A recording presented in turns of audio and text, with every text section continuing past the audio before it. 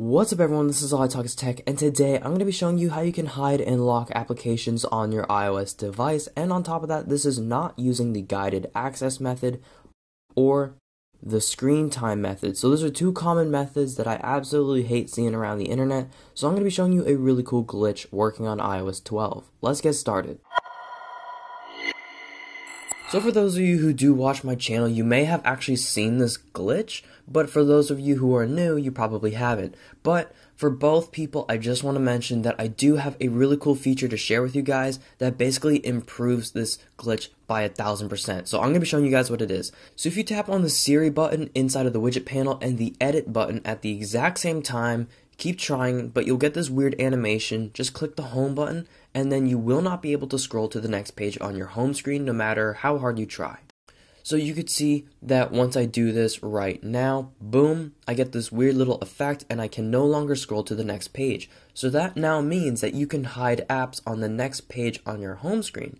But there's one issue you have these little dots at the bottom of your screen that show which page of apps you're on. So clearly somebody's going to know whether or not you're on the first page, second page, or etc. So what you should do is I recommend having all your apps on one page that you want people to see and then all your hidden apps on the other page. And I'll show you how to access that. But first, we're going to be downloading this special wallpaper.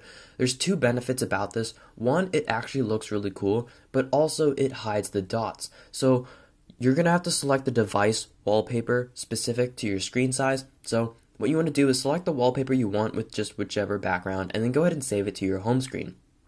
Now, once you've done that, you're going to notice there's an issue it doesn't align properly with my device. So what I had to do was just tap on the edit button inside of the Photos application and you're to have to crop the image just slightly. Something that helped me was I swiped down the notification panel on accident. You saw that little arrow up top and you can use that as a reference and then zoom out all the way. You don't have to get that scientific with it. Just try to crop it as best as you can. I just did that because I wanted to be precise and I got close enough. So once you set it as your home screen wallpaper, you will see that this bar basically goes across the dots and you can't see it. But from someone else's perspective, it just looks like you have a really cool dock on your phone that separates the dock from the normal applications. So if you continue to swipe, you're not going to be able to access the apps. So how do you access the apps? Well, I actually went around asking family members and friends, and nobody even knows about this. If you tap just at the far left or right of the iOS device by those dots, you can actually scroll over to the next page on your home screen. So you actually don't really have to worry about other people guessing this. But there is one thing you need to change if you want all this to work properly. You'll need to go to Settings, General, Accessibilities, make sure Reduce Motion is turned on, and then you're going to want to make sure Reduce Transparency is turned off. Those are the two most important things you'll need for this, and then of course you'll have to have the wallpaper set properly. So just keep trying if you can't get the wallpaper. Now, there's one more issue.